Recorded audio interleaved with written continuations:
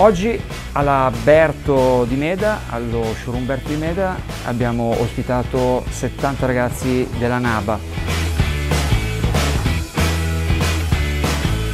Abbiamo deciso di venire in visita nel vostro showroom perché eh, oltre alla didattica e oltre a questo mio ruolo all'interno dell'Accademia come course leader, io mi occupo di giornalismo, quindi sono anche giornalista e quando ho scoperto eh, il progetto Made in Meda e quando ho sentito le parole di Filippo durante la presentazione del libro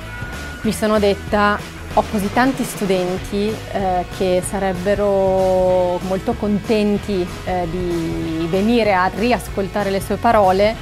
e sapendo quanto questa azienda crede nei giovani, nelle giovani promesse del design italiano internazionale,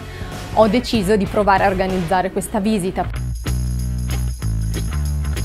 È stata una giornata straordinaria perché sono stati veramente tantissimi questi ragazzi che hanno letteralmente invaso il nostro showroom con l'obiettivo di capire come eh, funziona un'azienda eh, del distretto medese, del distretto di Meda. Honestly said it was amazing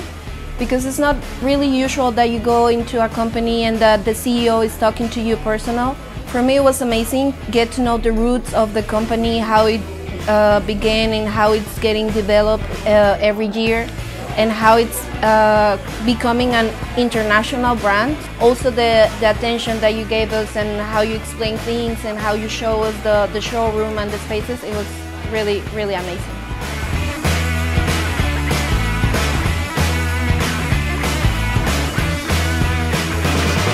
Oggi Berto, all'attenzione di questi ragazzi, è stata il caso di un'azienda in grado di parlare in modo differente con i clienti attraverso una relazione diversa proprio grazie al fatto che abbiamo un canale di comunicazione diretto con i nostri clienti.